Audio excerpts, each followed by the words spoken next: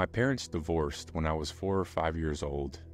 During and after the divorce, my brother, let's call him Chris, my mom and I moved into a two bedroom apartment townhouse. Now, this is not the nice townhouse you may imagine, but it wasn't a complete shithole per se, but they were older, built in like the 60s. This was the 1990s at the time. And it was in a rougher part of town, something a single mother with two kids could swing. The layout of the apartment is important to the story, so bear with me. When you walk in the front door, the kitchen is immediately to your left, and there's a short entrance hallway in front of you. There was no fence or privacy where there was a rather sad and sparse playground. In the hallway entrance again, on the right is a staircase leading up to my mom's and my brother's room. One day after school, my brother and I are out playing in the backyard on the playground, doing our kid stuff, when my mom told us she wanted to go check the mail. The mailboxes of the apartments are located at the front entrance, which is on the opposite side of the complex from us. Naturally, me being five and Chris was nine at the time, my mom didn't want to leave us alone, especially since it was about dark outside. We came inside and got ready to leave. On the way out, I remember my mom asking Chris if he had closed and locked the sliding glass door. Chris said he had. Cut forward a little bit, and we are back from the mailroom. It's maybe 20 or 30 minutes max, but it's hard to fully recall. My mom unlocks the apartment door. I'm lingering in the car for some reason or other. Chris doesn't notice that I'm not in the apartment yet, and on the stairs leading to the bedrooms on the right, he sees someone's feet disappear at the top of the landing as if someone were running to hide. Thinking they're me, he doesn't think something's off. Chris goes to the kitchen, and I actually go upstairs directly into our bedroom to get ready for bed. My mom is at the table in the dining room area near the split level living area downstairs. While I'm completely clueless, getting ready for bed in the bathroom, Chris from downstairs keeps hearing noises of someone walking around in my mom's bedroom. Now, I had a bad habit when I was this age of going through people's stuff.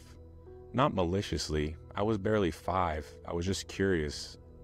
And Chris, thinking I'm being a nosy bastard going through all my mom's jewelry, runs upstairs to catch me in the act and get me in trouble. Chris runs up the stairs, sprints across the hall to my mom's bedroom, and throws himself stomach first onto the bed. When he looks up, he sees a tall, slender man with a bright green goblin latex Halloween mask on, and he's holding a large kitchen knife. My brother sits silently in shock as the man in the goblin mask raises one finger to his mouth, indicating for him to be quiet. And in true form for my brother, he screamed bloody murder for our mom. Now I heard things going on, but I have no idea and I'm not aware of what's happening. I have gotten into my big oversized sleep shirt and I'm going downstairs to have a glass of milk before bed when Chris screamed. The man ran downstairs and encountered my mom, who immediately jumped into action. Our baseball gear was in the living room, and my mom grabbed a bat and started fighting this man in her house while he's taking swipes at her with the knife. I first notice what's happening when I've come downstairs to the kitchen, pulled up a step stool to reach to the counter and pour a glass of milk, and that's when I see over the bar the guy push my mom off the steps into the split level living room, landing on her back. She starts swinging the bat widely, trying to make any contact she can with him, and she does. I'm glued to this image, truly frozen in place. Not scared, just so young that I can't fully process what I'm seeing. The man finally runs towards the front door, which is right by the kitchen, I'm mid pouring my glass of milk, frozen, and the milk continuing to spill over the counter and floor. He stops and turns directly to me in that green goblin mask with the knife and screams a primal, deep sound of rage and frustration, and then slams the door so hard the whole place shakes. I continued standing on my stool, pouring milk everywhere, frozen for I don't know, could have been a second, but it felt so long. I don't remember what happened after all that, but the parts I've relayed are very clear to me. Moral of the story is lock your doors and never assume that you did.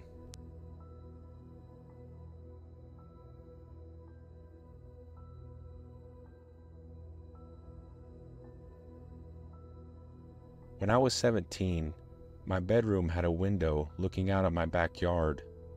The backyard was fenced in, but on the other side of the fence were some woods and a retention pond.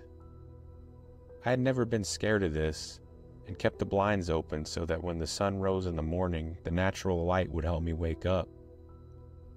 One night, when I was up late on my phone with my dog laying in bed next to me, at around 2 a.m., my dog jumped up and started barking at the window. At first, I thought he was just barking at his reflection and told him to stop. But I then realized he was looking at the left side of the window while his reflection was on the right. I couldn't see outside the window because I had left the lamp on my nightstand on. All I could see in the window was the reflection of my bedroom. Not wanting to alert whatever might be out there that I was scared, I faked a yawn, set my phone aside, and turned off the lamp. I then laid down facing the window, and I swear I saw a set of human eyes looking back at me from the left side of the window. I drink a lot of water at night, so I had an empty bottle on my nightstand. I grabbed it and pretended to just realize it was empty. I turned on the lamp and acted like I was going to get water. I went to my parents' room, and my dad told me not to worry. We had these motion activated floodlights, and they hadn't turned on, so that there was no way anything was out there. I went back to my room and told myself I was just seeing things. I closed the blinds and turned off the lamp and got some sleep. When I woke up in the morning, I went to take my dog out and decided to check out the pine straw bedding underneath my window. It was visibly disturbed.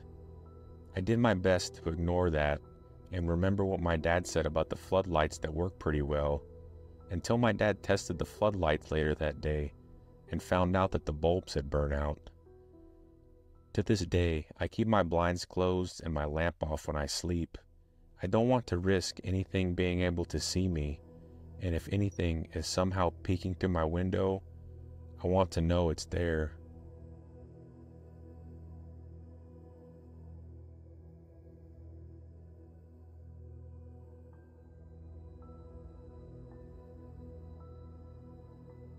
I'm from the UK, if that's any context. So, way back in 2016, when the whole killer clown epidemic was huge, I was walking through the woods at around 10 p.m. alone in order to get to a party slash gathering that was happening in a secluded part of the forest. It was almost pitch black and I could barely see in front of me, besides the flashlight on my phone, and everything seemed normal as I was walking to the party I got to a long stretch of the woods, with no defined path, but it was the quickest way to the party, so I took it. As I got around midway through, I heard something to my left. I turned and saw a shadowy figure sitting on a fallen log. I was understandably unnerved, but I couldn't make out what it was, just shadows from the moonlight, or if it was an actual person. I made the mistake of shining my phone light directly at it, and I was instantly terrified. Sitting there alone in the middle of the woods was a largest man dressed as a clown with full face paint and sporting the creepiest smile imaginable. I tried to call five different people as I was passing him, and then I heard him get up and follow behind me. I instantly started sprinting towards the end of the long stretch, onto the path, which had a barbed wire fence down the side of it. During the sprint, I was pretending to be on the phone with one of my friends, and I could hear him running after me, but there was no chance in hell that I would be turning around to see if I was right. When I got to the path, I jumped over the fence as fast as I could and sliced my hand open as I did so. I then turned around and kept running backwards as I saw the clown. He stood behind the fence just staring at me and smiling. I didn't stop running until I got to the party, and I was scared for a long time after this. You have to bear in mind that there were so many rumors of people being killed by people dressed as clowns at this time, and while I'll never know if that man had evil intentions or was just trying to scare me, it was extremely strange and scary to live through